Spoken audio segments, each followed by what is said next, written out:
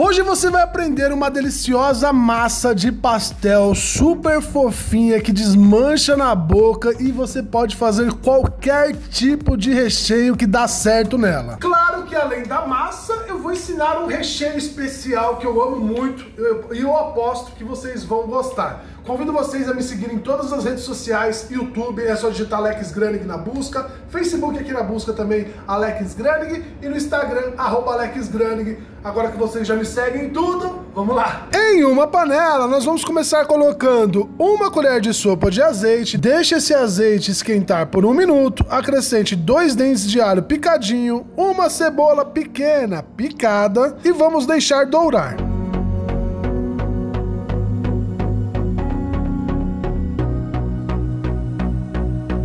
Em seguida, você vai colocar 500 gramas de carne moída, deixa dar uma seladinha.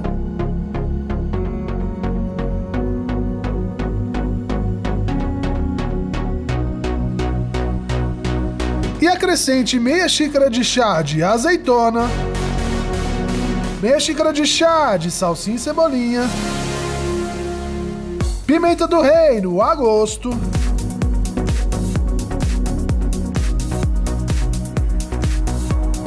E com a espátula você vai cortando aqui sua carne para ela ficar em pedacinhos pequenos.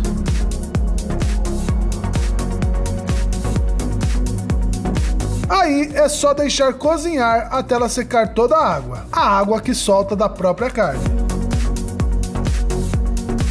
Agora, em uma vasilha, coloque 500 gramas de farinha de trigo, uma colher de sopa de fermento em pó. Esse é aquele fermento para bolos, tá? Junte uma colher de chá de sal, 70 ml de óleo e 300 ml de leite, acrescentando aos poucos. Coloca um pouquinho, mistura sua massa, coloca outro pouquinho, mistura a massa, vai indo e não esquece do like.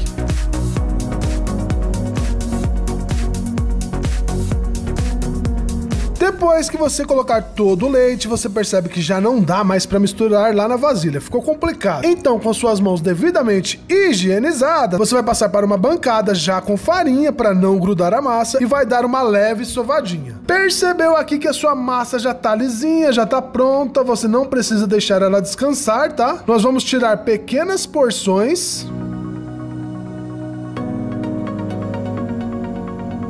E vamos abrir com a ajuda de um rolo.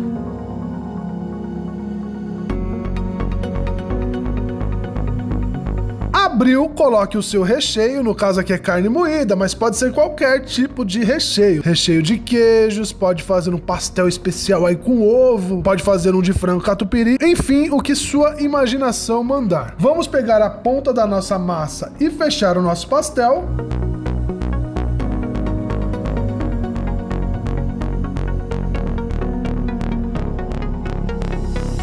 E com uma faquinha nós vamos modelar aqui tirando o excesso de massa.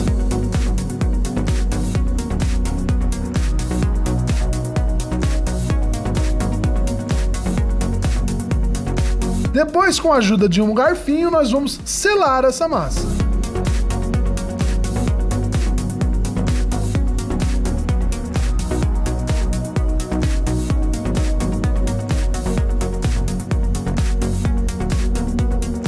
Está pronto o nosso primeiro pastel. Faça isso com toda a sua massa. Quando tiver tudo pronto, já deixa um prato reservado com papel toalha do lado e o óleo tem que estar quente. Faz o teste aí, joga um pedacinho de massinha, se começar a borbulhar já está quente, e aí você pode começar a fritar os seus pastéis.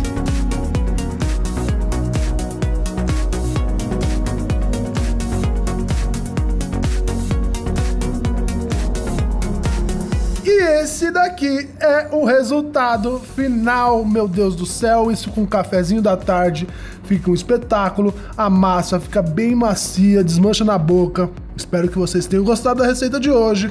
Eu fico por aqui, um beijo no coração de todos, até a próxima, bye bye!